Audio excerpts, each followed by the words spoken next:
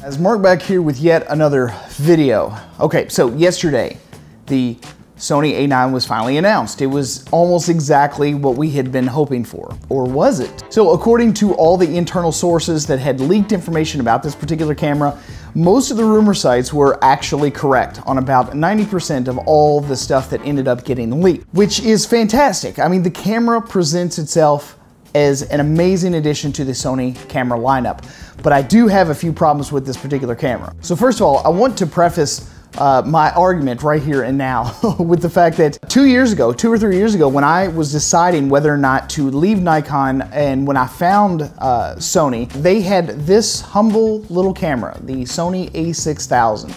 Uh, this was not supposed to be a replacement for a lot of people. This was considered a toy. Again, I reiterate the fact that that was the uh, consensus among people that were still heavily shooting DSLRs. Uh, a lot of people didn't even consider the fact that Sony might actually, at one point in their history, take over Nikon in full frame camera sales. So not long after this guy was released, they released the A7, the very first full frame camera in their lineup. One of the biggest arguments for going to Sony was the fact that everything that the lower end cameras had, the high end cameras had as well.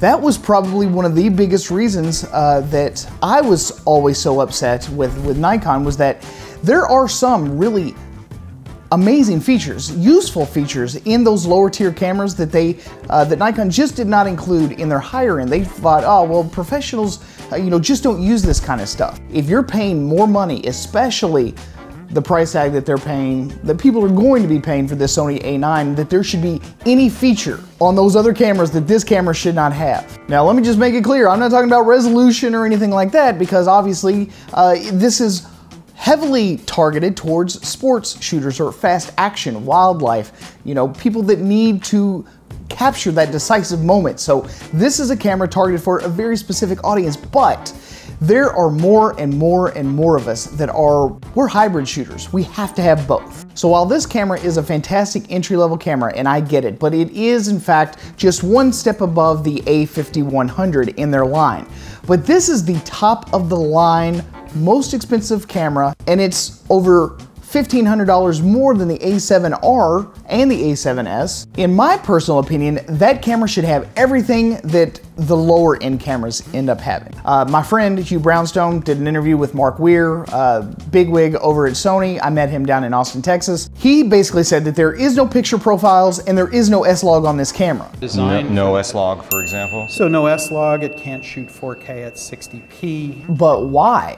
I can seriously think of about 10 or 15 different reasons why someone that would be wanting to buy this camera would also want those video features included. Let me give you a perfect example. There are going to be many, many times where you will literally be bursting down a bride trying to capture that decisive moment, and then just after the moment is over, maybe you just want to switch over to video mode real quick, you know, use your custom recall memory recall function, switch over to a really nice S-Log profile and capture some loving moment between the bride and the groom, uh, you know, as they're doing something kind of funny but not critical to being captured a la photo. And just being able to have that S-Log or a picture profile or hell, not even S-Log, you know, something just a little bit more easier to edit, say like their Cine profiles. The fact that they are not included in this camera, I mean, that is such a bummer. And I really do think that a lot of photographers are gonna be put off by that fact. Like I said before, my initial argument was that Sony always included those quote unquote,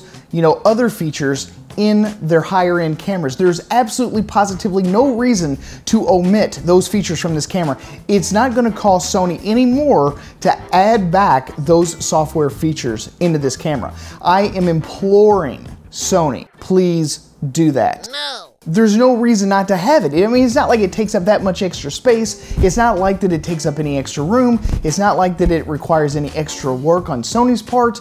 And it can only be a value add. It can only be a benefit to the, the hybrid shooter community. There's too many instances where people get hired that have to do not just one, but both situations with their cameras now. No one wants just photographs. No one wants just video. Everyone wants both. Too many people work with both. You know, whoever made that executive decision to leave it out, it seems like a money grab to me. And to a large extent, I hope that I'm wrong. I'm hoping that it was just an executive decision that says, well, you know, this camera is going to be for people, you know, most mostly for photographers, so we're just gonna leave it out so that they're not overly complicated with extra things to worry about.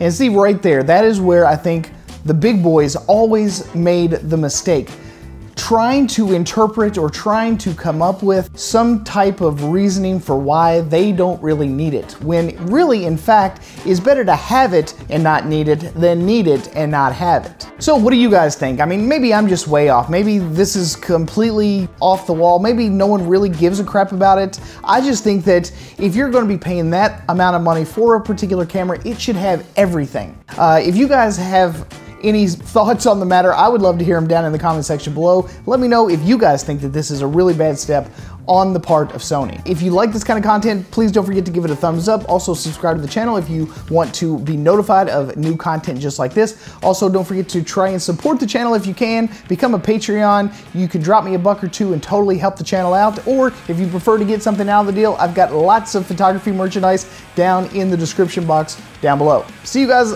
on the next one. Peace.